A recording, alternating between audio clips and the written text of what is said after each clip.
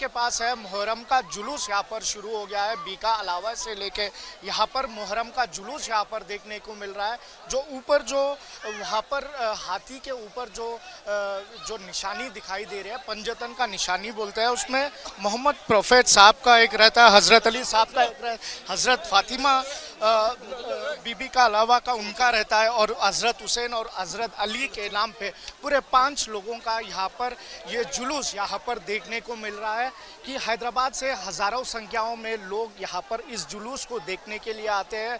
बीबी का अलावा डबीलपुरा से लेके पूरी पाँच किलोमीटर तक का ये जुलूस रहेगा, जहाँ पर बीबी का अलावा बड़े बाज़ार और अलीजा कोटला, चार मीनार से लेके फिर पंजशह और डबीरपुरा, फिर लास्ट को चादरघाट के पास ये जुलूस पूरा रुकता है कि ये पाँच पंजतन जो बोलते हैं, यहाँ पर पाँच प्रॉफिट्स के उन के याद में ये आज इस गम को यहाँ पर जुलूस के तरह लेके यहाँ से निकल रहे हैं। देख सकते हैं, हज़ारों संख्याओं में लोग यहाँ पर है। पुलिस पूरी तरह से सुरक्षा की व्यवस्था की गई है।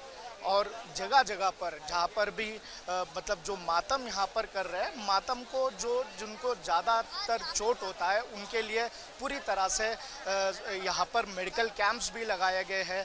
जगह जगह पर पानी का व्यवस्था की गई है जूस का व्यवस्था की गई है। अगर कोई यहाँ पर इस स्कूल यहाँ पर सिचुएशंस को देखे कई कोई अगर यहाँ पर गिर जाते हैं उनके लिए भी यहाँ पर पूरी तरह से पुलिस के तरफ़ से पूरी तरह से व्यवस्था यहाँ पर की गई है। हज़ारों संख्याओं में यहाँ पर लोग जुड़ते हैं और यहाँ पर देख सकते हैं, चार मीनार के पास है। कितनी बड़ी संख्याओं में लोग यहाँ पर इस मातम के जुलूस में लोग यहाँ पर चलते हुए दिख रहे हैं। चार से अभी अलीजा कोटला जाएगा। अलीजा कोटला से चादरगढ़ के पास ये मातम ख़त्म होगा, वहाँ पर रुक जाएगा। ये सुबह एक बजे, दोपहर के एक बजे के समय में बी का अलावा से ये यात्रा शुरू होता है, गम का यात्रा और चादरगढ़ के पास ये एंडिंग होता है।